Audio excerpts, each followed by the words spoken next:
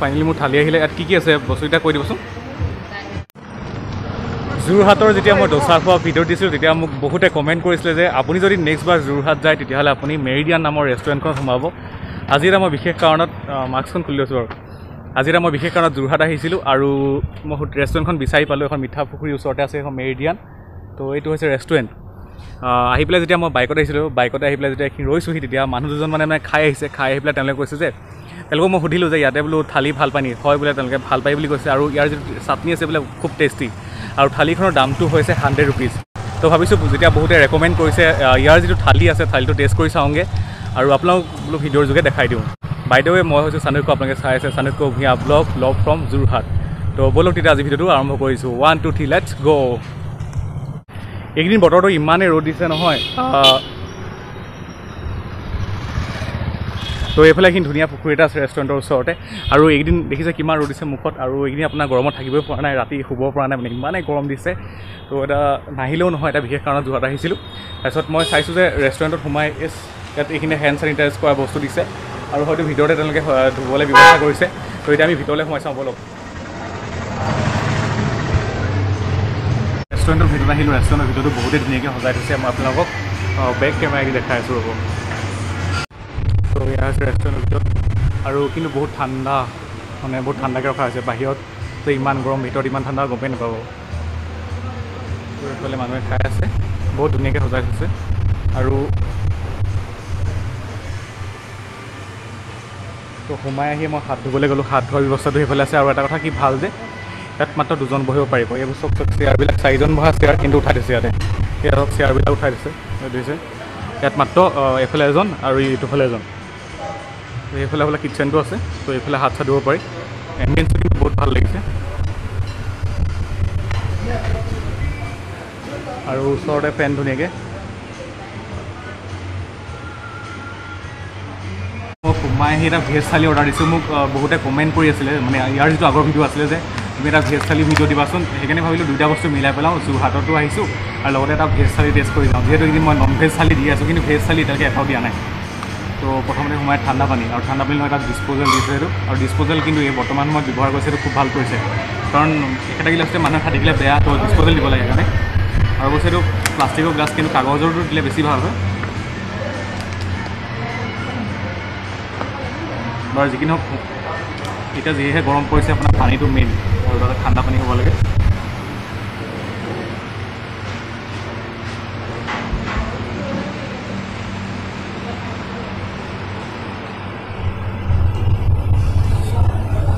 ভাল লাগিছে। ত' ফাইনেলি মোৰ থালি আহিলে ইয়াত কি কি আছে? বস্তুকেইটা কৈ দিবচোন।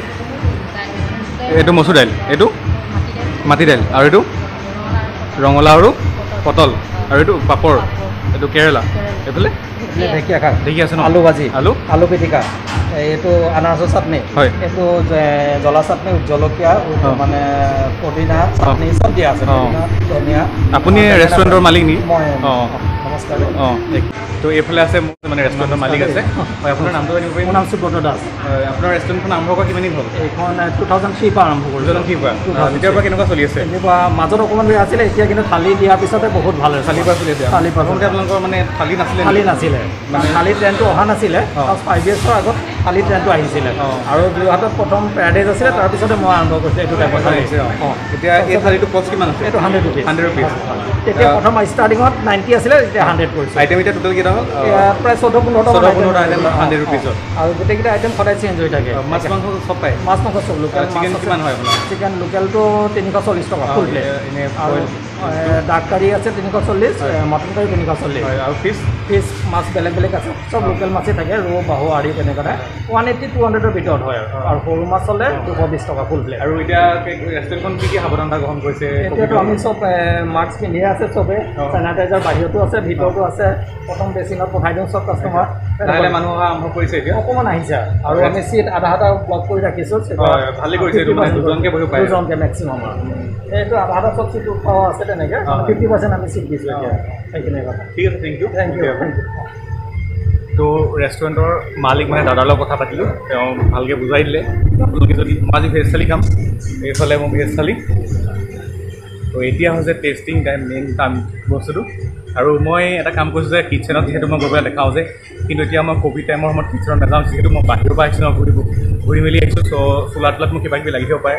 ত' সেইকাৰণে কি মই কিটচেন যোৱাটো বন্ধ কৰিছোঁ। কাৰণ মোৰ নিজে খাইছোঁ বেলেগ কথা কিন্তু লোকৰ মানে জীৱনটো যাতে বিপদত নেপেলাওঁ।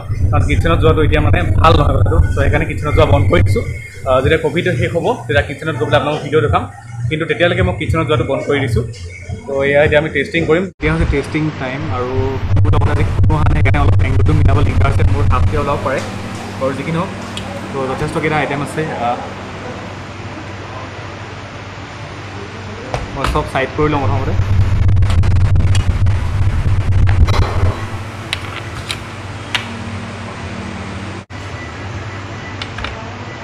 অ'কে প্ৰথমতে এইটো খাই চাওঁ এইটো?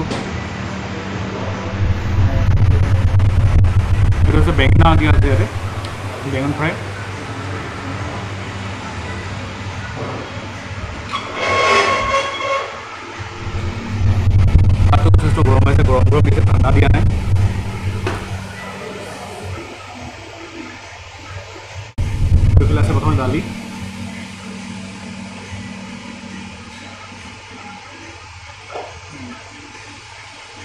দালি ল'ম অলপ নেমু চেপি ল'ম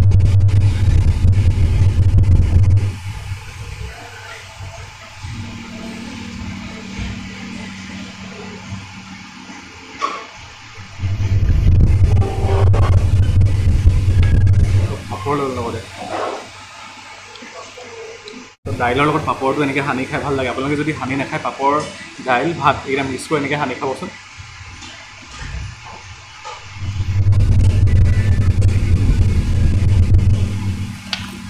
তো এতিয়া মই চব্জিকেইটা টেষ্ট কৰিছোঁ এইফালে ঢেকীয়া আছে এইটো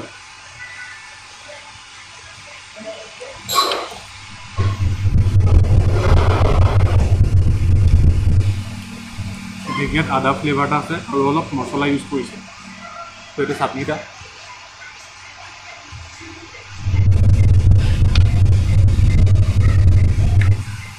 ঠিকে আছে অকণমান নিমখ খালি বেছি হৈছোঁ আলু পিটিকা।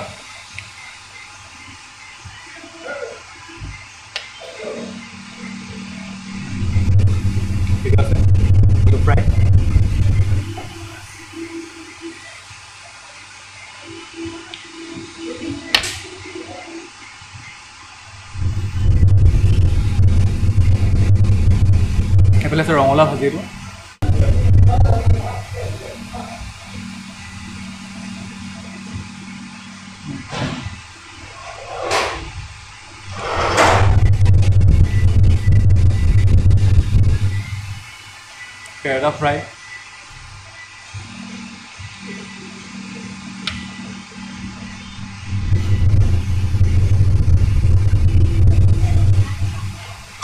নৰ্মেল ঘৰুৱা টেষ্ট চাটনি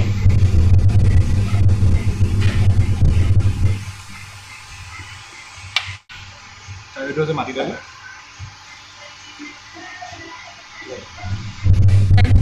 দাইল অলপ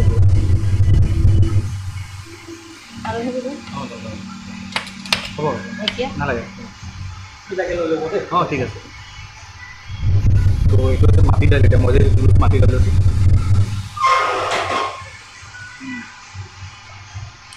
মাটি দালিটো ধুনীয়া হৈছে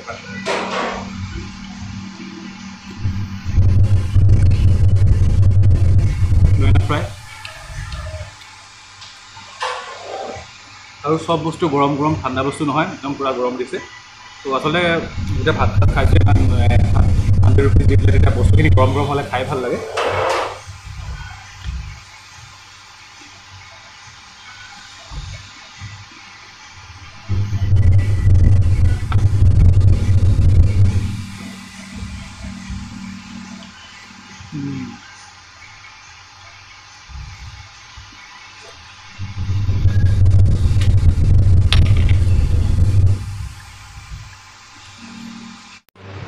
এতিয়া মই ৰঙালাওটো ভাজিটো সানি ল'ম। সেইটো খাই কিন্তু মই ভালো পাইছোঁ ৰঙালাওটো। আৰু জানেই মই কেনেকৈ লওঁ। তেনেকৈ সানি ল'ম। অলপ আলু ভজা লৈ ল'ম।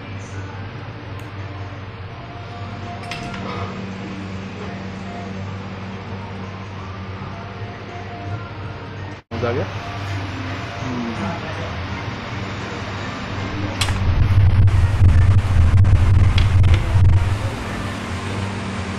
তো ৰঙালাও ভাজিটো মই খাই ভাল পাইছোঁ সেইকাৰণে আৰু এবাৰ ল'ম এতিয়া। আৰু লগতে যিটো বেঙেনা ফ্ৰাই আছে যে বেঙেনা ফ্ৰাইটো ল'ম মই যিহেতু কৈছিলোঁ বেঙেনা ফ্ৰাইটো খাই ভাল লাগিছে বুলি সেইকাৰণে ইয়াত লৈছোঁ। তো বহুত পিচ দিলে কৈছে আৰু এইফালে কেৰেলা ভাজি। মই এতিয়া কাঁহীখনতে ল'ম যিহেতু কাঁহীখন ডাঙৰ বাতি পানী দিবলৈ বাৰে বাৰে দিগদাৰ হয়। আৰু ৰঙালাও।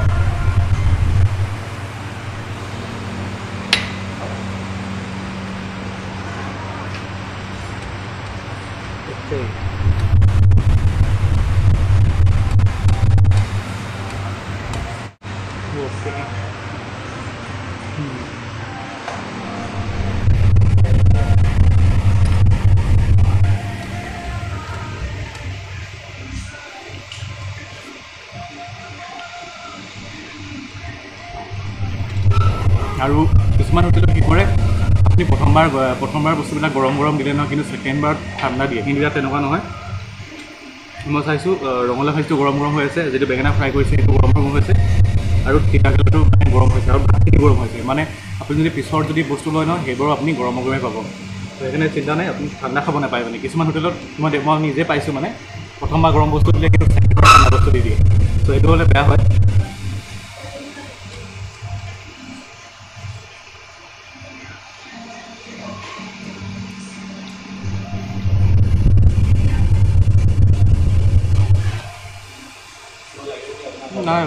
খাই কেনেকুৱা পাইছে। ভাল লাগিছে। অঁ ঠিক আছে।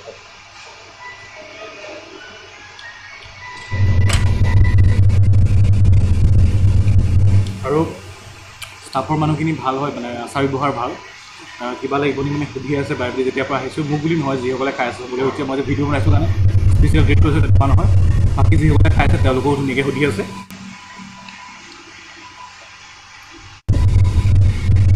বেছি গৰম হৈ আছে। আৰু সেইটো আচলতে ভাল হ'ব লাগে। যেতিয়া আপুনি এখন ৰেষ্টুৰেণ্টত খাব যায় তেতিয়া ভাতকেইটা খাওঁ তাৰ যদি পৰিৱেশটো ভাল হয় তেতিয়া ভাতকেইটা খাই ভাল লাগে। দামটো যিমানটো নহওক সেইটো পিছৰ কথা কিন্তু যদি পৰিৱেশটো ভাল হয় ঠাণ্ডা হয় ধুনীয়া আচাৰ ব্যৱহাৰ যদি ভাল হয় পোছ ভালকৈ কৰে তেতিয়া খাই ভাল লাগে। ফাইনেলি মোৰ খাই শেষ আৰু খাই পেলাই শেষত নেমুকণ আৰু মই জানি কি